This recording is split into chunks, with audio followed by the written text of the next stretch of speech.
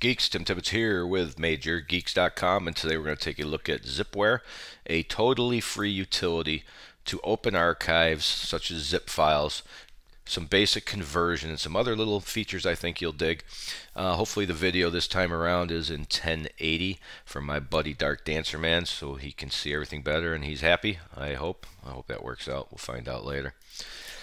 So, here she is as you can see, we have a handful of features here. Some of it's really, really cool. I had already opened System Information Viewer as a zip. Now you can add to it, extract to it, convert it to different archives, just, just a handful right now. Choose your compression rates.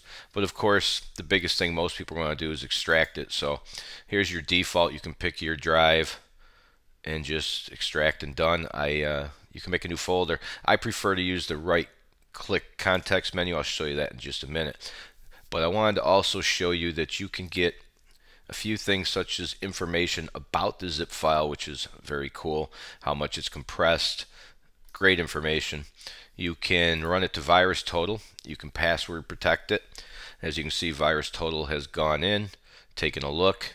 Somebody's already updated it on VirusTotal, so it gives you all the information that you need. Nice, neat little feature there you have a handful of options. You can actually manage that context menu I just showed you, so that's kind of nice if it's too much in there. Let me show you real quick.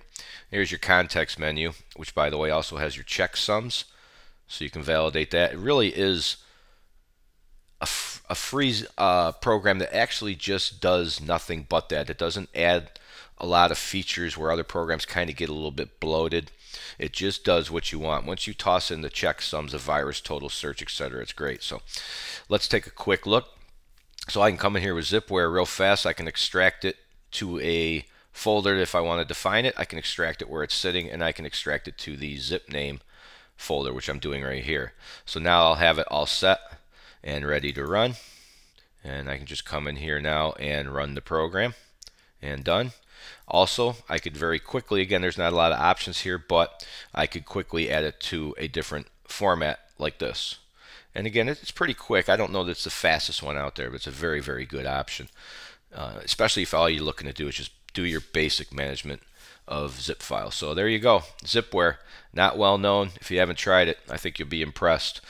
We thank you, as always, for watching, and we'll see you next